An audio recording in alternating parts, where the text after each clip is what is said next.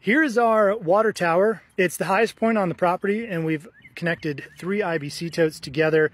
And there's a line that runs all the way from basically right next to the house. It's an old hand dug well that we're using a pump to pump water up here. And I'm going to show you how not only do we pump it up here, but we also have a system to turn the water off so it doesn't overflow. So up there are the IBC totes that I was standing by just a second ago. And down here we have a submersible well pump inside of this old hand dug well. So uh, you can see that black line coming out. That's our line out up to the tanks. And there's an electrical line in there. It's a 110 volt submersible well pump. And you can see that I have that on a smart switch, which talks to the Wi-Fi inside the house. And this is this smart switch talks to a Yolink device, which is a float switch. So we have a long range wireless float switch up here.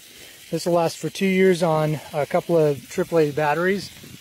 And then there's a float switch that sticks in there and it has long range radio transmission. It's supposed to be able to communicate up to a quarter mile so it talks back to the home.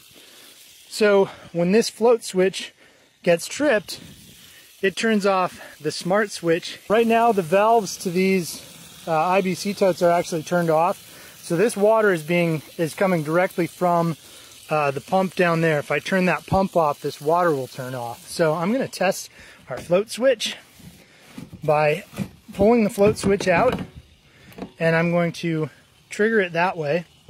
We have a little program that's written. It worked perfectly. Uh, if this then that program that shuts off the pump as soon as this is triggered.